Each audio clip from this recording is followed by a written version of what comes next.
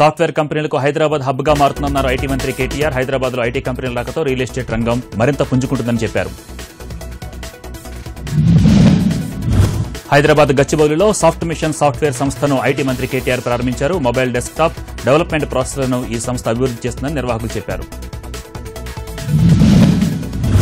పేద ప్రజలందరికీ అత్యున్నతమైన విద్యను అందించడమే ప్రభుత్వ లక్ష్యమన్నారు రవాణా శాఖ మంత్రి Mahender Reddy. Jeedimetla TVR school science ఫేర్లో మంత్రి పాల్గొన్నారు. చీరాల నియోజకవర్గంలో తమిళనాడు గవర్నర్ రోసియా వంద మంది ఆటో డ్రైవర్లకు ఆటోలను పంపిణీ చేశారు ఎన్నికల్లో ఇచ్చిన హామీని అమలుపరిచిన ఎమ్మెల్యే కృష్ణమోహన్కు రోసియా అభినందించారు. ఇచ్చిన హామీలను అమలుపరిచే నేతలు అతి తక్కువ మంది ఉంటారన్నారు తమిళనాడు గవర్నర్ రోసియా. ఆటో గ్రూప్తో గెలిచి ఆటోలను పంపిణీ చేసిన ఎమ్మెల్యేని అభినందించారు. కృష్ణా జిల్లా ఆగిరిపల్లి మండలంలో పెన్షన్దారులు తీవ్ర ఇబ్బందులకు గురవుతున్నారు. వివిధ గ్రామాలకు చెందిన మూడు వందల మంది వృద్ధులకు వికలాంగులకు పింఛన్లు నిలిచిపోవడంతో అధికారులను ఆశ్రయించారు. వేలిముద్ర లేకపోవడం వల్లే పింఛన్లు నిలిచిపోయాయని చెప్పిన ఆగిరిపల్లి ఎమ్మెల్యే వాటిని తీసుకోవడానికి విక్టోరియా పూర్ మందిర్కు రావాల్సిందిగా చెప్పారు. అయితే అక్కడికి పెన్షన్దారులు వచ్చినా అధికారులు ఎవరూ రాకపోవడంతో వారు ఆగ్రహం వ్యక్తం చేశారు.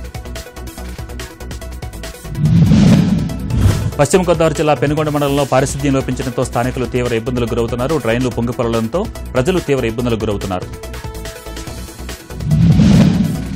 పారిశుద్ధ్య సమస్యలను తీర్చాల్సిందిగా పంచాయతీ శాఖ అధికారులను ఎన్నిసార్లు మొరపెట్టుకున్నా పట్టించుకోవడం లేదని స్థానికులు మండిపడుతున్నారు.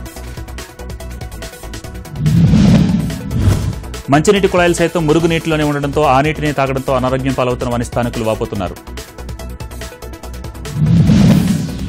పంచాయతీ బోర్డు ఏర్పడి ఏళ్ళు గడుస్తున్నా పదవుల కోసం పాకులాడుతున్నారే కానీ ఎవరూ తమ సమస్యలు పట్టించుకోవడం లేదని స్థానికులు ఆవేదన వ్యక్తం చేస్తున్నారు. తమ సమస్యలను వెంటనే తీర్చాలని వారు డిమాండ్ చేస్తున్నారు.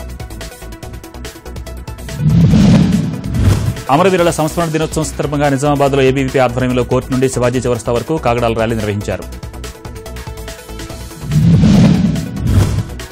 యువత పెడదారి పట్టి వ్యసనాలకు బలి కావద్దని మహనీయులను ఆదర్శంగా తీసుకుని వారి అడుగుజాడలు నడవాలని వక్తలు సూచించారు. ప్రజల ప్రాణాలను హరిస్తున్న సారా మహమ్మారిని తరిమేందుకు మెదక్ జిల్లా రామాయంపేట మండలం కోనాపూర్ పెద్ద గిరిజన తండాలోని గిరిజన మహిళలు నడుమిగించారు తండాల్లో సారా తయారీపై సమాచారం అందుకున్న ఎక్సైజ్ అధికారులు ఎన్నిసార్లు తనిఖీలు చేసిన ఆచూకీ లభించలేదు. దీంతో గిరిజన మహిళలే ఎక్సైజ్ అధికారులకు సమాచారం ఇచ్చారు. గిరిజన మహిళలతో పాటు విద్యార్థులు కూడా ఎక్సైజ్ అధికారులకు మద్దతునిచ్చి సారా బట్టీలను ఎనిమిది వందల లీటర్ల బెల్లం మూటను ధ్వంసం చేశారు. కర్నూలు జిల్లా ఆత్మకూరు అటవీ డివిజన్లోని నల్లమల అటవీ ప్రాంతంలో మంటలు వ్యాపించాయి. ఉష్ణోగ్రతలు పెరగడంతో దావాలం వ్యాపించి పచ్చని చెట్లు అగ్ని ఆహుతయ్యాయి. ఆత్మకూరు శ్రీశైలం రహదారిలోని అడవిలో అంటుకున్న మంటలను ఆర్పేందుకు స్థానికులు ప్రయత్నించారు. అయితే అటవీ శాఖ ఏమాత్రం స్పందించకపోవడంపై వారు ఆగ్రహం వ్యక్తం చేస్తున్నారు. కృష్ణా జిల్లా నూజివీడులో రవాణా శాఖ అధికారులు స్కూల్ యాజమాన్యాలకు బస్ డ్రైవర్లు ఆయాలకు అవగాహన కార్యక్రమం నిర్వహించారు. వారు తీసుకోవాల్సిన జాగ్రత్తలపై చర్చించారు. సెల్ ఫోన్ మాట్లాడుతూ మద్యం సేవించి స్కూల్ బస్సులు నడపడం నేరమని అరవై సంవత్సరాలు పైబడిన వారు బస్సులు నడపవద్దని రవాణా శాఖ అధికారులు సూచించారు. అనంతరం డ్రైవర్ లైసెన్సులను పరిశీలించారు.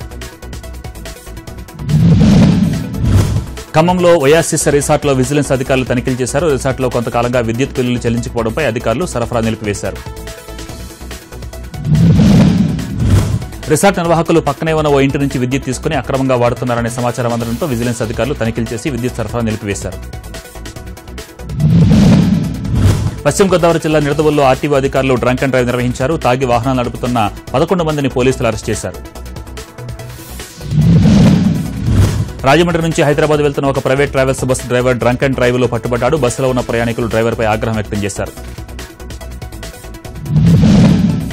విశాఖలోని ఓ ప్లాస్టిక్ కంపెనీలో జరిగిన ప్రమాదంలో ఓ మహిళ మృతి చెందింది. గాజువాక ఆటోనగర్లో వెంకటేశ్వర ప్లాస్టిక్ కంపెనీలో యంత్రాల్లో చిక్కుకొని సత్యవతి అనే మహిళ మృతి చెందింది. కరీంనగర్ జిల్లా జగిత్యాల మండలం తోటపల్లి హైవే రోడ్డుపై ఆటో లారీ ఢీకొనడంతో ముగ్గురు మృతి చెందగా మరో ముగ్గురికి తీవ్ర గాయాలయ్యాయి.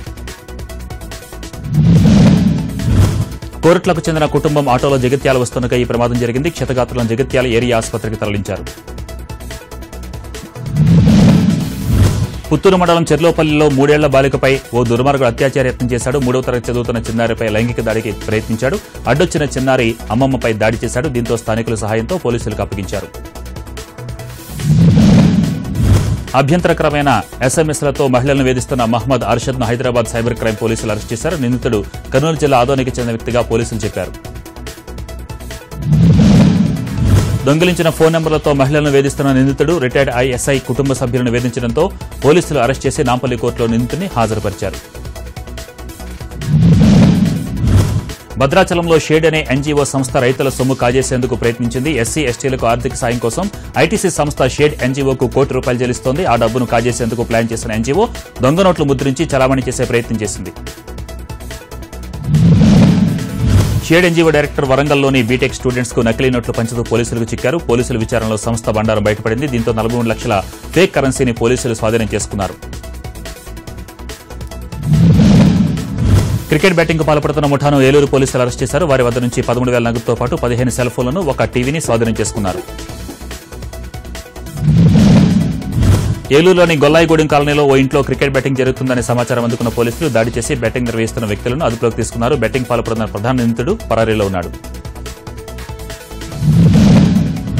పోలీసుల కళ్ళుగప్పి తిరుగుతున్న నరుగులు ఘరానాగర్ దొంగలను నెల్లూరు పోలీసులు అరెస్ట్ చేశారు. వారి వద్ద నుంచి సుమారు పది లక్షల చోరీ సొత్తును స్వాధీనం చేసుకున్నారు.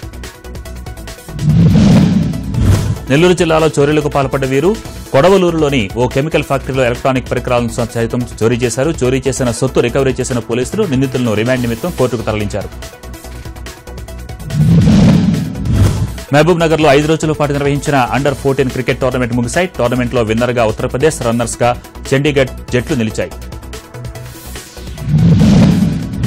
ఇరవై మూడు రాష్ట్రాల నుంచి దాదాపు ఐదు వందల మంది క్రీడాకారులు రావడంతో పాలమూరు క్రీడా మైదానం నేషనల్ మ్యాచ్ను తలపించింది. పోటీలలో తెలంగాణ టీం నాలుగో స్థానంలో ఉంది. వరంగల్ జిల్లా దుగ్గొండి మండల కేంద్రంలో రాష్ట్ర స్థాయి రెజ్లింగ్ పోటీలు ఘనంగా ప్రారంభమయ్యాయి. రాష్ట్రంలోని అన్ని జిల్లాల నుంచి రెండు వందల మంది రెజ్లర్లు ఈ పోటీలో పాల్గొన్నారు. రెజ్లింగ్ పోటీలలో బాలుర విభాగంతో పాటు బాలికలకు పోటీలు నిర్వహించారు. వరంగల్ జిల్లాకు చెందిన అమెచ్యూర్ రెజ్లింగ్ అసోసియేషన్ ఈ పోటీలు నిర్వహిస్తోంది. ఉత్తరాది రాష్ట్రాల్లో అప్పుడే హోలీ సంబరాలు మొదలయ్యాయి. ఉత్తరప్రదేశ్లోని మధురలో ప్రజలు రంగులు చల్లుకుంటూ ఆటలాడుతూ హోలీ ఉత్సవాలకు శ్రీకారించుతారు. వీధుల్ని రంగులతో ముంచెత్తారు. చిన్న పెద్ద అంతా వీధిలోకి వచ్చి సంబరాలు చేసుకున్నారు. ఆడవాళ్ళు కర్రలు రోకళ్ళతో మగవాళ్ళను కొడుతుంటే ఆ దెబ్బల్ని భరించడం హోలీ సంబరాల్లో ఓ సంప్రదాయం. ఆ సంప్రదాయాన్ని మధురలోనూ పాటించారు జనం. అమెరికా ఖండం చలిగుప్పెట్టి చిక్కుకుంది. విపరీతంగా మంచు కురుస్తుండటంతో జనజీవనం అస్తవ్యస్తంగా మారింది. చికాగోలో రోడ్లపై భారీగా మంచు పెరిగిపోయింది దీంతో వాహనాల రాకపోకలకు అంతరాయం ఏర్పడుతోంది. ఈ సీజన్లో ఇప్పటి వరకు రికార్డు స్థాయిలో ఇరవై ఆరు ఇంచుల మంచు కురిసింది. రోడ్లు విమానాశ్రయాలు నివాసాలు షాపులు ఇలా అనేక ప్రదేశాలు మంచు దుప్పటి పరుచుకుని కనిపించకుండా పోయాయి. ఏకదాటిగా కురుస్తున్న మంచుతో పర్యాటక ప్రాంతాలన్నీ మంచు ముద్దలుగా పేరుకుపోయాయి. వాతావరణం పరిస్థితులు అనుకరించకపోవడంతో నిన్న ఒక్కరోజే రెండు వందల యాభై విమానాలను రద్దు చేశారు. కర్నూలు జిల్లా అహోబిలంలో బ్రహ్మోత్సవాల వైభవంగా జరుగుతున్నాయి. బ్రహ్మోత్సవాలలో స్వామివారు రోజుకు అవతారంలో భక్తులకు దర్శనమిస్తున్నారు.